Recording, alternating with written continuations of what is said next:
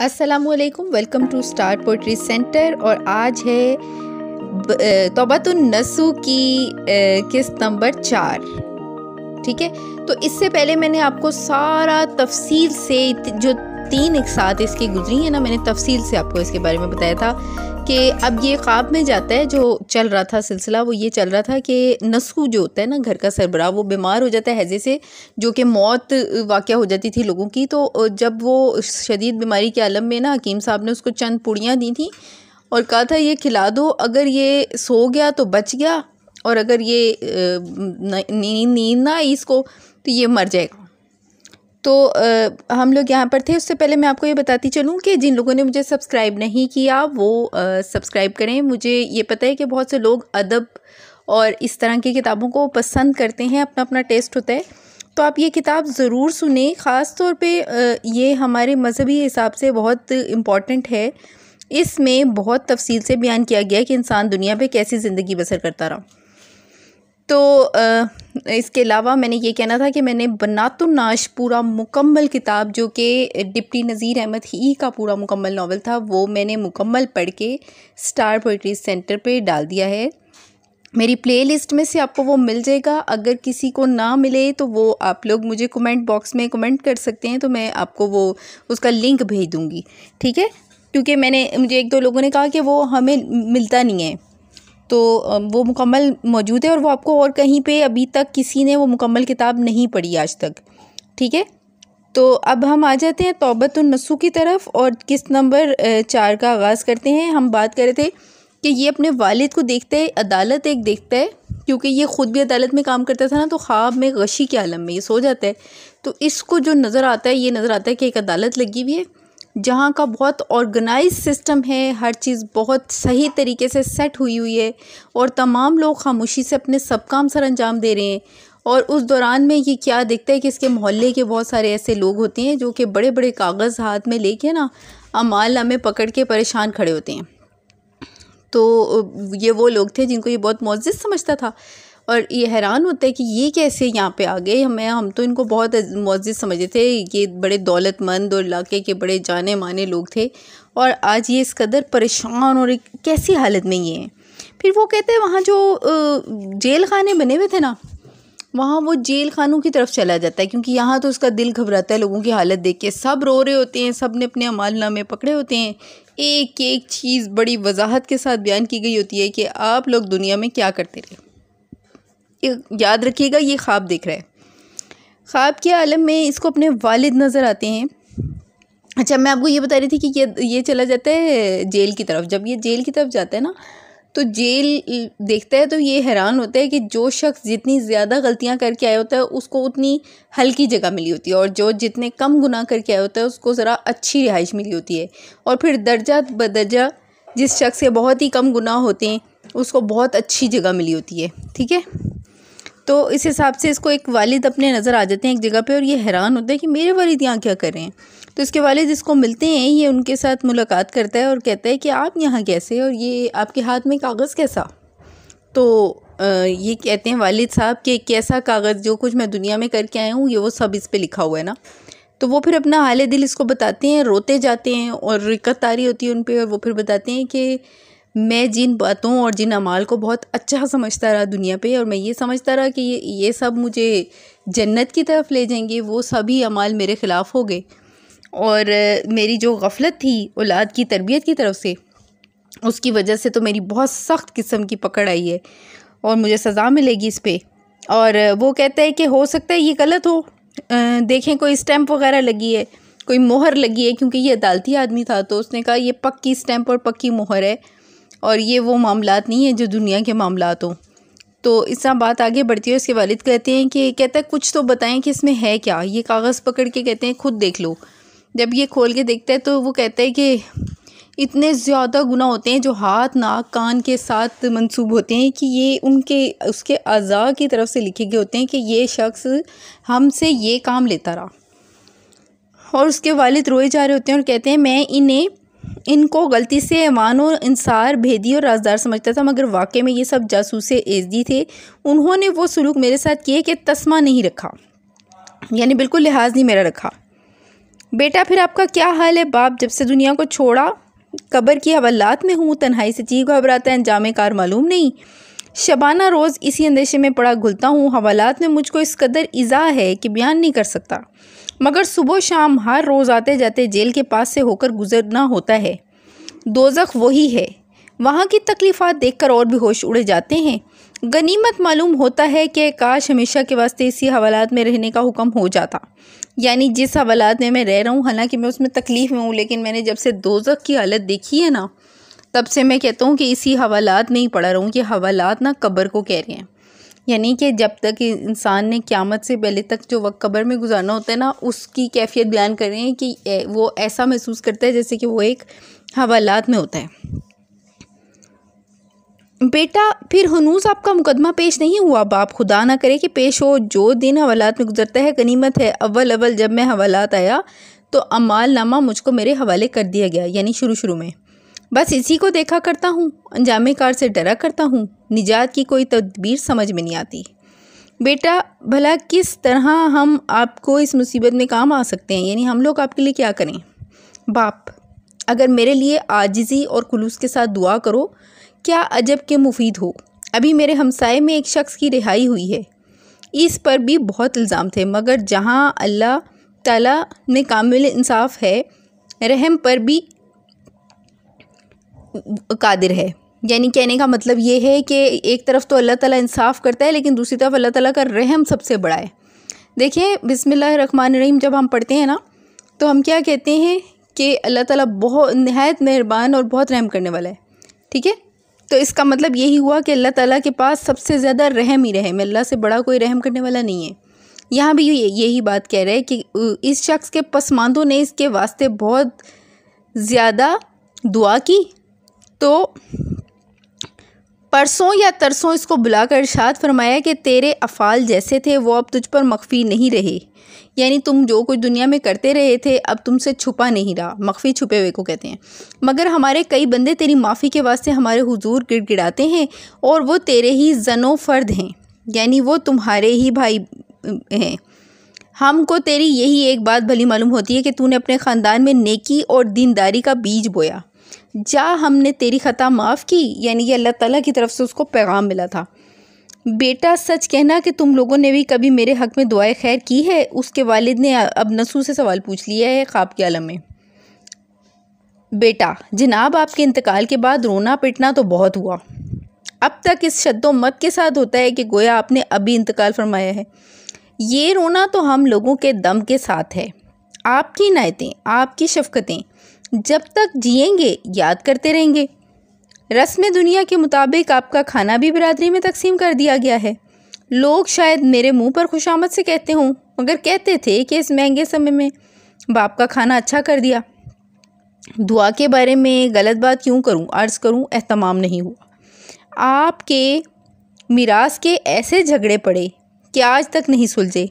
मगर ये तो फरमाइए कि आप तो सोमो सलाद के बड़े पाबंद थे। क्या अमालो अफ़ाल कुछ काम नहीं आए? बाप क्यों नहीं? ये नहीं अमाल की बदौलत है कि तुम मुझको इस हालत में देख रहे हो, वरना बथेरे मुझसे ज़्यादा तकलीफ़ में हैं। हवालात में जेल कहने की सी इज़ा है। ठीक है? तकलीफ़ है, मगर यहाँ हमारे अमाल में खलूस नीयत शर्त है। मैंने अमाल को आकर देखा तो अक्सर जैसे छोटे मोटे खोटे रुपए, नमाजें बेहजूर कल्ब अकारत गईं और रोज़े चूँकि पाबंदी रस्म के तौर पर रखने का इतफाक़ हुआ था। खाली फाके शुमार में आए। अच्छा जी, बेटा। फिर इस दरबार में कुछ सही और सिफारिश का दखल नहीं। बाप अस्तफ़िर ये इसके, मैं ज़रा वजाहत करती चलूँ। इसके वालिद का कहना यह है कि मैंने बहुत सारी नमाज़ें जो लोगों को दिखाने के लिए पढ़ी थी, या अपने किसी मकसद के तहत पढ़ी थी, क्योंकि बहुत सारे लोग समझते हैं कि वो जब उन पर मुसीबत आती है ना तो वो उस वक्त नमाज़ पढ़ने के लिए खड़े हो जाते हैं कि मेरा ये वाला काम टल जाए ना। तो इसके बाद में जो है वो बस फिर बाद में वो भूल जाते हैं, नहीं पढ़ते नमाज़। वो सिर्फ़ तभी नमाज़ और कुरान पाक खोलते हैं जब उन पर कोई मुसीबत आती है। तो ये भी अपने बारे में बता रहे हैं कि मेरी बहुत नमाज़ें जो हैं वो ज़ाया गई और मेरे बहुत से सजदे जो हैं वो ज़ाया गए क्योंकि मैंने वो रियाकारी के लिए किए थे, यानी दिखावे के लिए। और रोज़ों का भी यही हालात हैं। अस्तक फिरुल्ला कोई किसी बात तो पूछता ही नहीं। नफसी नफसी पड़ी है हर शख्स अपनी बला में मुबतला और अपनी मुसीबत में गिरफ़्तार है। दूसरे की निजात तो क्या कराएगा पहले आप तो सुरखरू हो ले। बेटा, क्यों जनाब? माजल्ला ये शिरको कुफर का इल्ज़ाम आप पर कैसा? हम लोग तो खैर, सारा शहर आपके इतका का मोतकद था। यानी तारीफ़ करता था आपकी।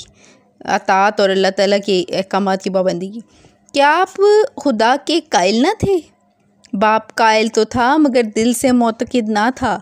बेटा जनाब, आपके तमाम अमाल ज़ाहिर से मुस्त होते, होता था कि, यानी ज़ाहिर होता था आपके अमाल को देख के कि आप खुदा करीम के साथ बड़ी रास्ते अकीदत रखते हैं।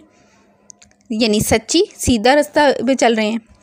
बाप, वो तमाम अकीदे, अकीदत मालूम हुआ कि ऊपरी दिल से थी। जब अव्वल अव्वल मेरा इजहार लिया गया तो पहला सवाल मुझसे यही पूछा गया कि तेरा रब कौन है? क्योंकि मरते वक्त मुझको ईमान की तलकीन की गई थी। तो मैंने जवाब दिया, अल्लाह वाहदुल्ला शरीक। तब इस पर जरा की गई कि भल भला जब तू दुखन की नौकरी से बर्खास्त होकर घर आया और मुद्दत तक खाना नशीन रहा और जो कुछ तू नौकरी से कमा कर लाया था सब सर्फ हो गया और तू नाने शबीना को महताज होकर नौकरी की जस्तजू में फिरा करता था।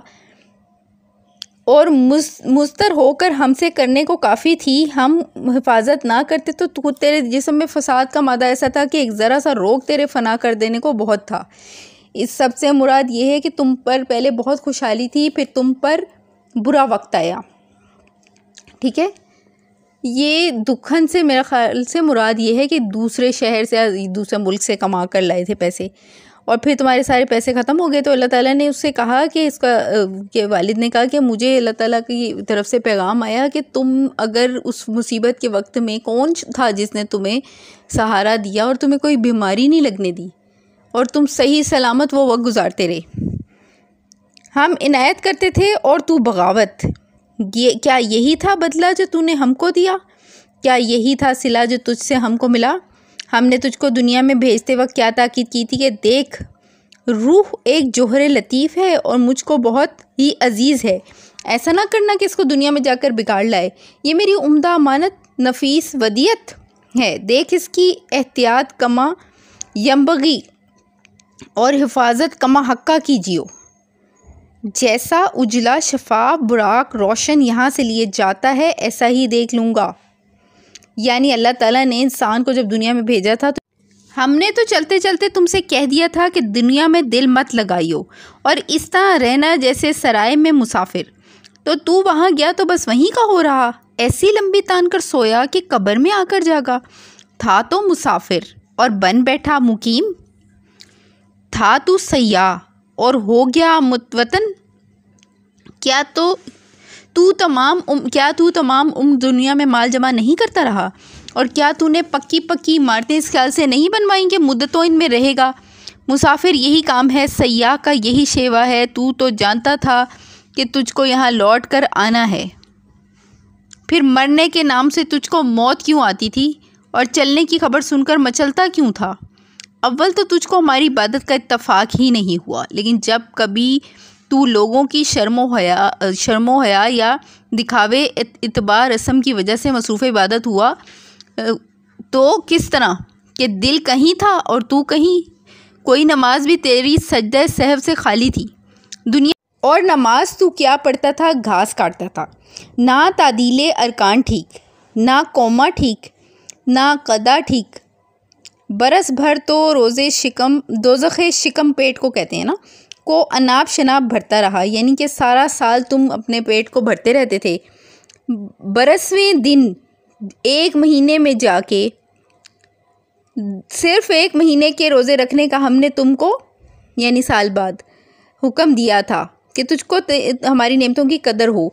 तुझको अपने अपनाए जिन्स पर जो मुबतला मुसीबत हैं, रहम आए।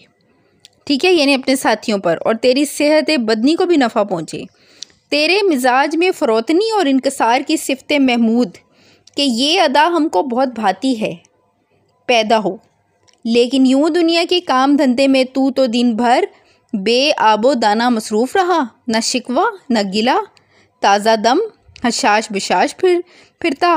फिर खाने थोड़े मौजूद होते, मगर रोज़ा चूँकि हमारे हुक्म से था तो दिन में सैकड़ों मरतबा सैकड़ों मरतबा प्यास की शिकायत और जो आया इससे ज़फ़ नातवानी की शिकायत अल अतश और अलजू यही तेरे दो दो वजीफ़े थे। रोज़ा इफ्तार किया और तू बदहवास होकर चारपाई पर ऐसा गिरा कि गोया जान नहीं, बावजूद के तू दो दो दिन का खाना एक ही रात में खा लेता था। फिर भी इस तस्वुर से कि कल फिर रोज़ा रखना है तेरे जूल बकर को किसी चीज़ से सेरी नहीं होती थी। तू ईद का इस तरह मुंतज़र रहता था जैसे कोई कैदी तारीख़ रिहाई का। तेरा बस चलता तो उनतीस क्या उन्नीस की ईद करता। ठीक है? क्या ऐसे ही रोज़ों के सवाब का तू उम्मीदवार है? और अज, अजर का मुतवक़ो है? हमने तुझको इंसान बनाकर भेजा था ताकि तू मुसीबत जदों की हमदर्दी करे। मगर तूने ऐसी तन आसानी इख्तियार की कि राहत पहुंचाना तो दरकिनार, दूसरों को तकलीफ़ देकर भी अपनी आसाइश हासिल करने में तुझको बाक ना था। तेरे हमसाए में हमारे बंदे रात को फाके से सोते थे और तुझको सो, सोए हज़म के इलाज से इनकी परवाह तक ना थी। तेरे पड़ोस में ऐसे लोग थे कि जाड़े की लंबी रातें आग ताप ताप कर सहर करते और तू धुर्रे धुर्रे लिहाफ और भारी भारी शिकों में चैन से पाँव फैलाकर सोता। नेमत मालो दौलत जो हमने तुमको अता की थी, तुमने तकल्लुफ़ात ला ला यानी यानी कि बेकार चीज़ों के, नमूद नुमाइश में। गैर ज़रूरी चीज़ों में, नमूद नुमाइश में और बहुत कुछ तल्फ़ किया और जो लोग इसके सख्त हाजतमंद थे, तरसते के तरसते रह गए, तेरी सब खबासतें हमको मालूम है।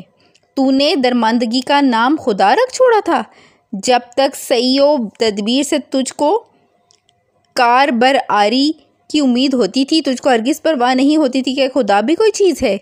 यानी जब तुम्हारा मतलब नहीं पड़ता था, तब तक तो तुम्हें अल्लाह याद नहीं आता था। तो यहाँ पे मैं अपनी आज की किस्त ख़त्म करूँगी। किस्त नंबर चार का अख्ताम हुआ, क्योंकि ये काफ़ी तवील हो जाती है। तो यहाँ पे मैं इसका ख़ुलासा बयान करती चलूँ कि अल्लाह ताला ने ये कहा कि तुम जो कुछ भी करते हो ना, तुम समझते हो, मैं तुम्हारे दिलों के अंदर रहता हूँ। ठीक है शहरक से भी ज़्यादा अल्लाह ताला ने कहा, मैं तुमसे करीब हूँ। तो आप ज़रा सोचें कि हम सब लोग ये समझते हैं ना कि दिल के अंदर यही ख्याल होता है, आप देखिए लोग रोज़ों को कितनी जहमत बना लेते हैं। अल्लाह रहम करे, मैं कहती हूँ, ऐसे लोग रोज़ा रखते ही क्यों हैं? इतना इतना कोसते हैं, घर वालों से लड़ते हैं, रोज़ा रख तो लेते हैं, लेकिन उसको एक मसला बना लेते हैं।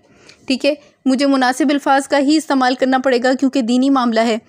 तो इससे बहुत बेहतर होता है कि आप, क्योंकि बाद में भी ये सारे ज़ाया ही होने हैं उस शख्स के, ठीक है? रोज़ा रखें तो उसका मुकम्मल एहतराम करें, ठीक है?